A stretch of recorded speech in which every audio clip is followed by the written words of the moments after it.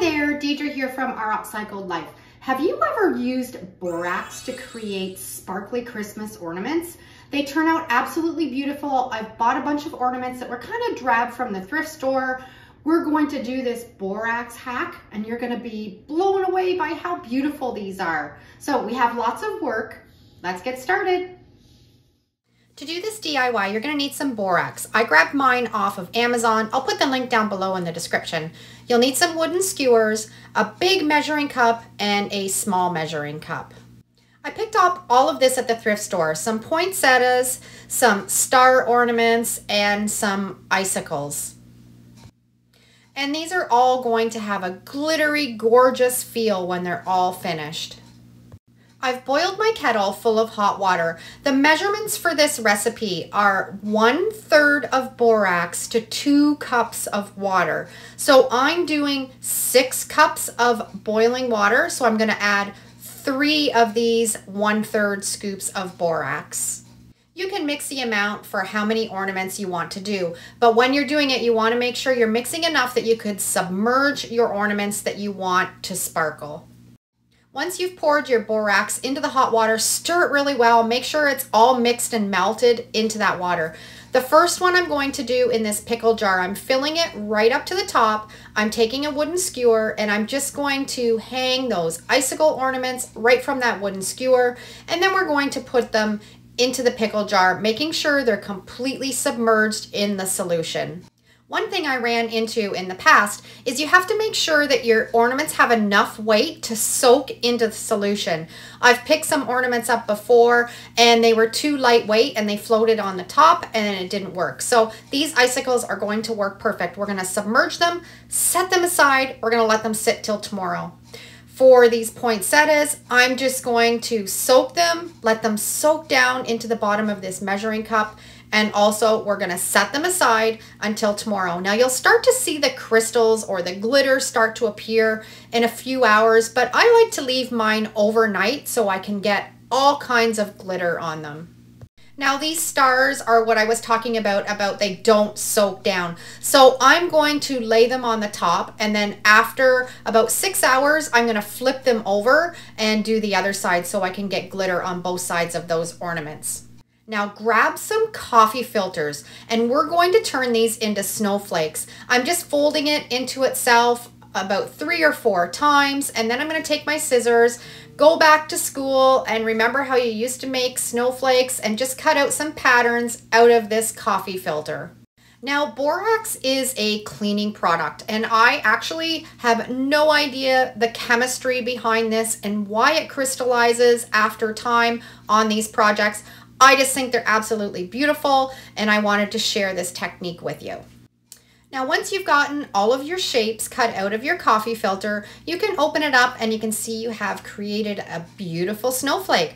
So I'm gonna do two of these and then we'll do the borax hack to make them nice and glittery and crystallize them.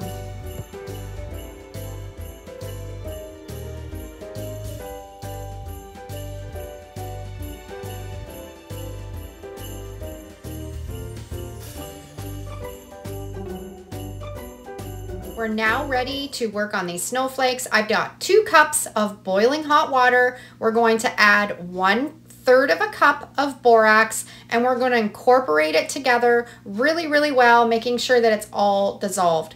I've got a baking sheet. I'm pouring that mixture over top of those coffee filters, making sure they're completely covered. And you can see I have a little bit of borax in the bottom that I didn't get incorporated, but I think I've got enough in the solution that it's gonna work perfect. Now we're gonna set this aside until tomorrow and I'll show you the results. So here are our icicle ornaments and you can see all the crystallizing on them. They're beautiful, they're glittery, and I think they look so much better than just those plastic icicles. I'm gonna put them on a piece of paper towel and spread them out and let them dry completely.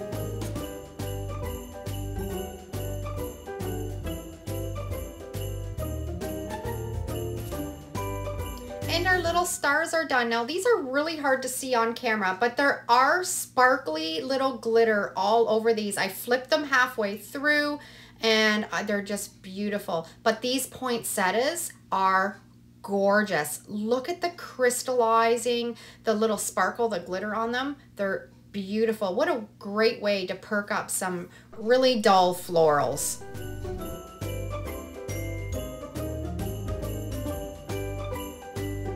Now look at our coffee filter snowflakes. These are just beautiful. I actually like making these and using them as doilies, but you can put a string through them and hang them up and they would be gorgeous too. And you could do all kinds of different sizes.